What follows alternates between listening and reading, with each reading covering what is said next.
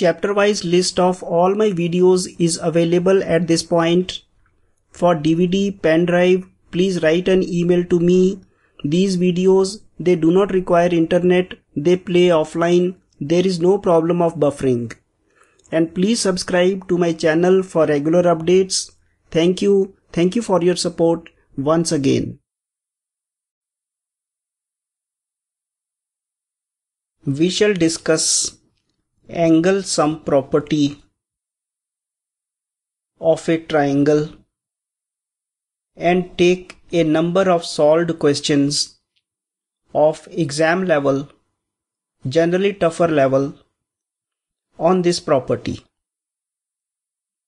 First of all, I will prove that the sum of angles of a triangle is 180 degrees. The purpose of proving this is that you will be able to understand how we can carry on with various proofs and how we can solve various questions on this angle sum property. The fundamentals are necessary. To prove this, let us draw a triangle any triangle is drawn, let it be labeled as A, B and C. Let the vertices of this triangle be A, B and C. We can also label these angles as 1, 2 and 3. By seeing at this triangle it is definitely very difficult to think how will we be able to prove that angle 1 plus angle 2 plus angle 3 is always equal to 180 degrees. This is a very important result, but how will we prove this? For this, we'll need a small construction. What we will do is, through A, we will draw a line which is parallel to BC. So draw a line through A which is parallel which is parallel to BC. Let us call this line as L. An artifice of this type artifice of this type will usually help us in solving problems of geometry. But no one is God gifted, so it is better to learn the techniques. That is why I am presenting the proof of each and every theorem so that the fundamentals they become very clear. Now, once this L is parallel to BC, then we can see that this angle is also 2 because alternate angles are equal. This angle is also 2 because this is line parallel to BC and this is the transversal and these are alternate angles which we already know from our previous lecture. Similarly, if you see at this side, this 3 and this 3, they will be exactly equal. So we can write angle 2 and angle 3 alternate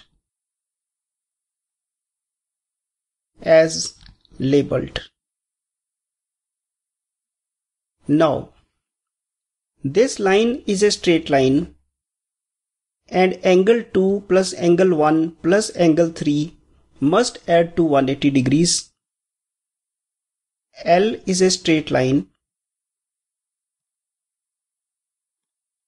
So angle 1 plus angle 2 plus angle 3 should add to 180 degrees.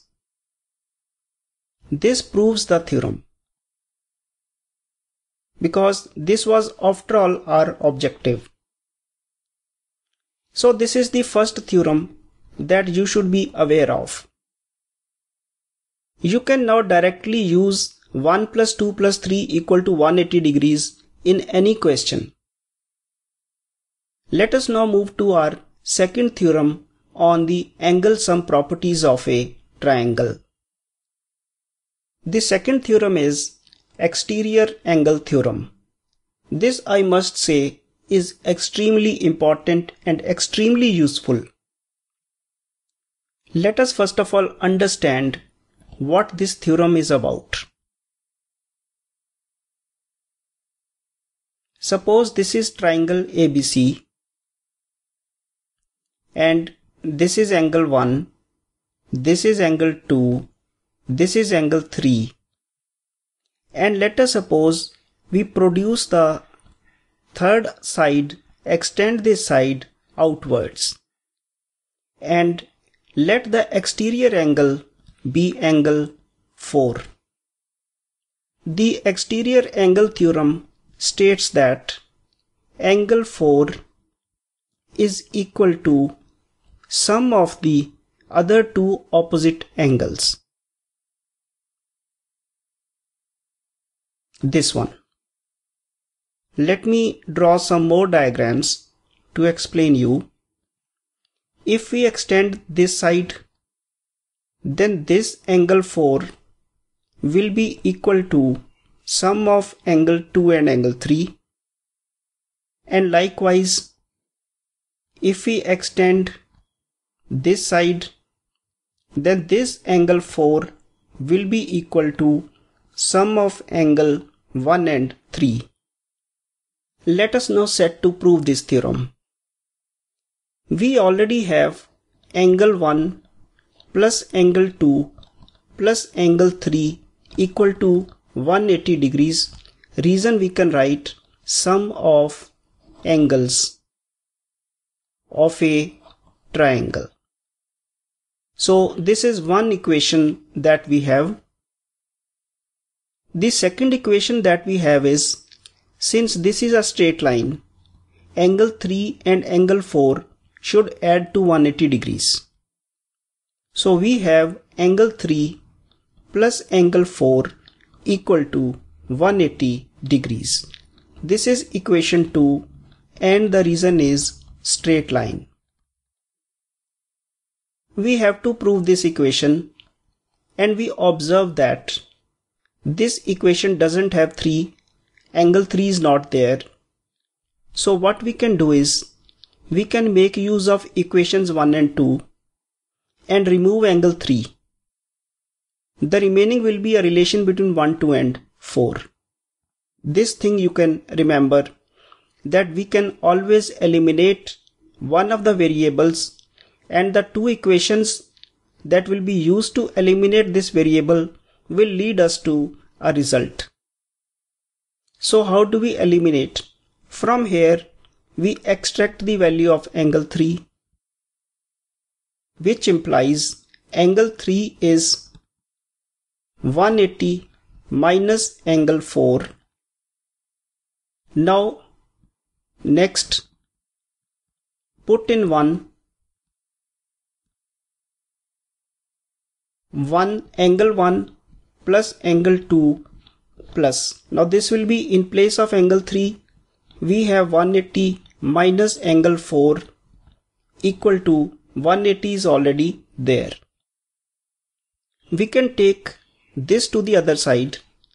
Angle 1 plus angle 2 will be equal to 180 minus this 180 minus these will go that side minus angle 4 which is equal to this 180 minus 180 crashes minus and minus changes to plus so which shows that angle 1 plus angle 2 is equal to angle 4 which is proved.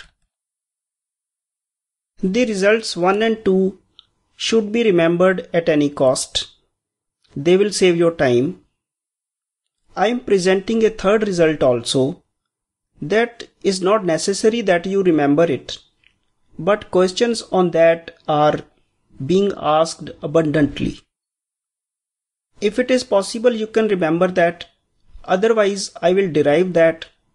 You can go through the steps of derivation and understand. Let us move to our third result.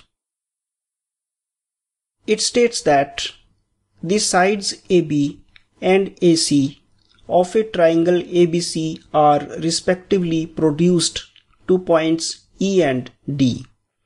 Let us first of all draw a triangle A, B and C. The sides AB and AC are produced to E. So AB is produced to E. So we are extending it to some point E. And AC is extended to a point D. If bisectors BO and CO of angle CBE and angle BCD, angle CBE is this, its bisector is this one. This divides this angle into two equal parts. Then there is a bisector of angle C B, BCD also BCD this angle. So let us draw its bisector also. To help us know that these are equal to themselves, we'll write double lines. Single lines means they are equal. Double means they are equal. Bisectors BO and CO. So this point is obviously O. Then we have to prove that angle BOC, that is this angle, is equal to 90 minus half of angle BAC.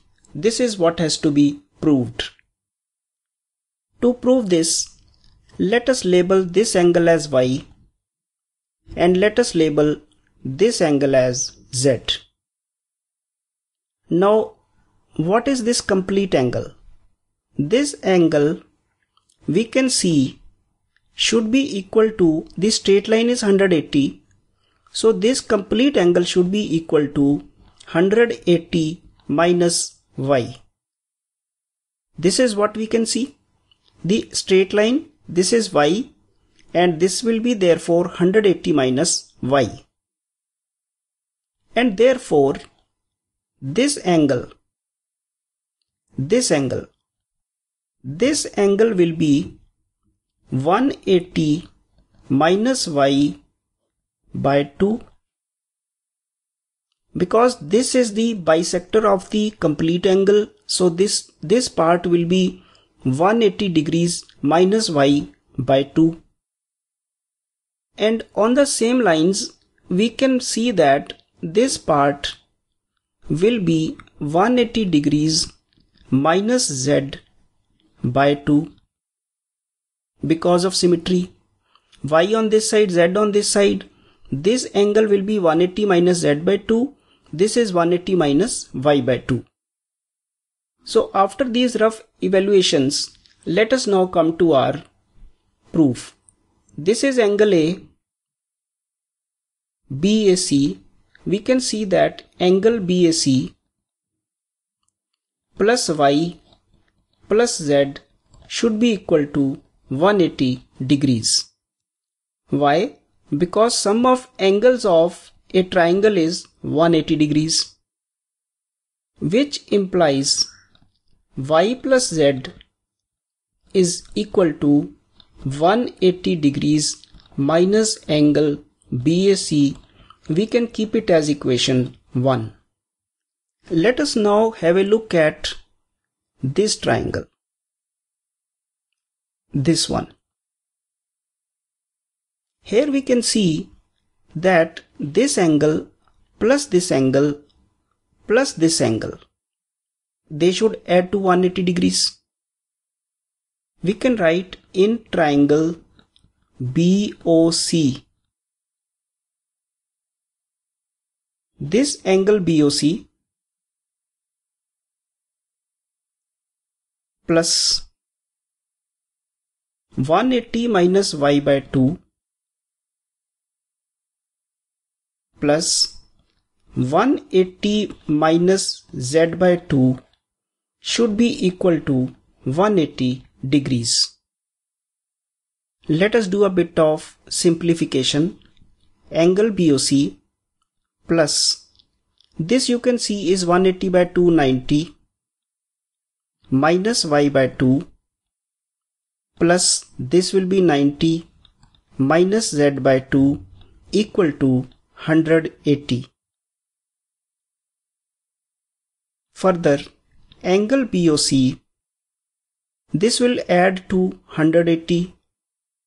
This is y plus z by 2. Okay, I'll just simplify it. Add it 180 degrees and combine these two together as y plus z by 2 equal to 180 degrees. So I have just combined these four terms into 180 and y and z together. So which implies angle BOC is equal to. Now let me take this story to the other side. This 180 minus 180 this 180 minus y plus z by 2 which is equal to this 180 minus 180 cancels and minus and minus changes into plus. So I get y plus z by 2. And now if I bring y plus z from equation 1, I will get 180 minus angle BAC by 2. y plus z is already known as 180 minus BAC. I brought it down which is equal to 90 minus angle BAC which proves the by 2 this 2 which proves the required result. So we have used almost everything of geometry in this. The straight line, the bisector, sum of angles of two triangles, this one followed by this one, and we ultimately were able to find that angle BOC is equal to that is this angle is 90 minus half of this. This is an important result. If you want you can remember it but remembering too much things is difficult. And if you understand the whole artifice basically you will need only to know about the straight angle, sum of angles of a triangle and bisectors. The remaining are all adjustment, all mathematics. Basically this was the first equation and this was the second. After that all was mathematics, adjustment and alignment. Let us now move on to our questions for these topics. These are now tougher examination questions. Let us see how to crack them. In this question he says, in triangle PQR, Points A, B and C are taken on PQ, PR and QR respectively such that QC is equal to AC and CR is equal to CB. If angle QPR is 40 then angle ACB is what?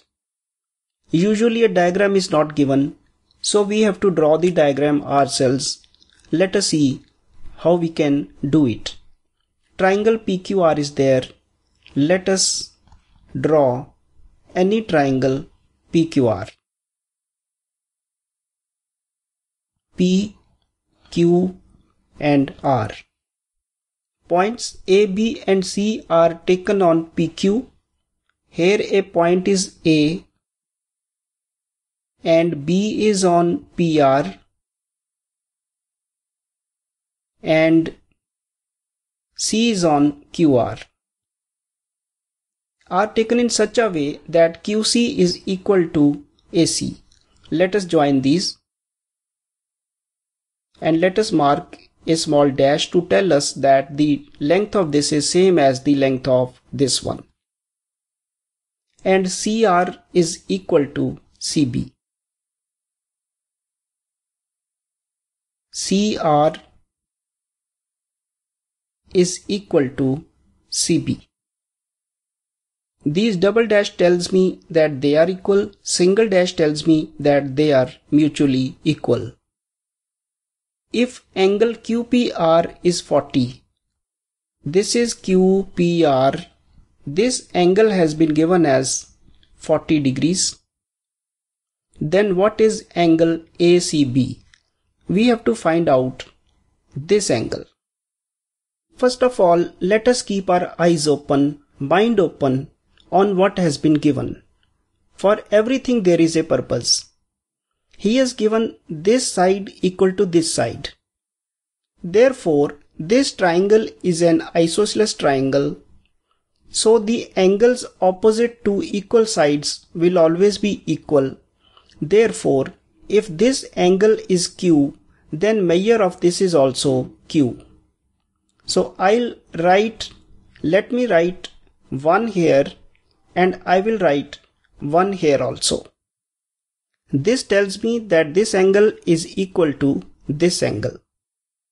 On the same pattern, if I write 2 here, then I will write 2 here also because this angle will be equal to this because this side is equal to this side and angles opposite to equal sides are always equal.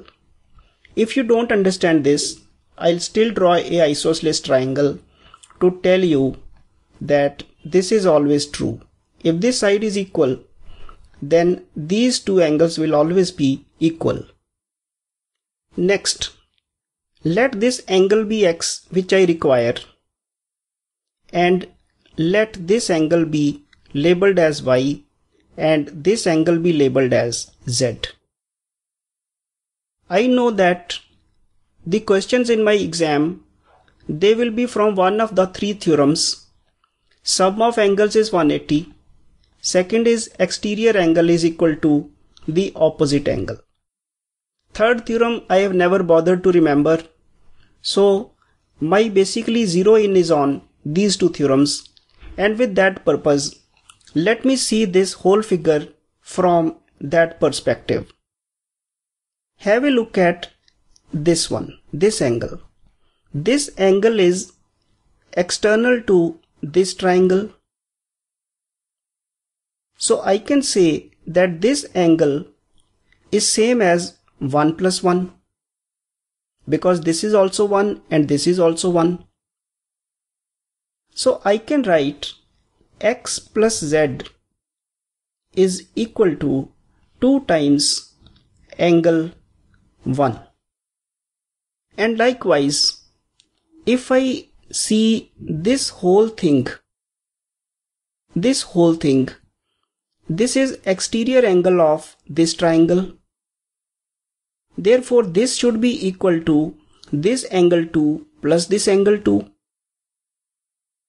which implies that y plus x, this is y, this is x, x plus y should be equal to 2 times angle 2. Now I have this information with me. Let me add these two equations. What do I get? x plus x plus y plus z equal to 2 times angle 1 plus angle 2. I have these two x. I have brought x with y plus z and x is here and this 2 is common and I have this one. Which implies x plus. Now if you see this is y, this is x and this is z. Three of them should add to 180 degrees because they are on the same straight line. So I will write it as 180 is equal to 2 times angle 1 plus angle 2. So which implies x is equal to 2 times angle 1 plus angle 2 take 180 to the other side. This is what I have. Now I am bothered about 1 and 2. Let me look at the entire angle. Geometry is about visualization, entire. In the entire angle, entire triangle PQR, angle 1 plus angle 2 plus 40 degrees should be equal to 180 degrees, which implies angle 1 plus angle 2 should be equal to 180 minus 40 equal to 140 degrees. Now bring it here and you get x equal to 2 into 140 minus 180 which is equal to this will be 280 minus 180 which is equal to 100 degrees which is the answer. I hope you have observed one thing that in this question I had to use either my theorem 1 or 2. This is the syllabus. You know them well. You succeed everywhere. Watch this video question again and again. You will get even more clarity about how I have done. But let me now move on to my next question.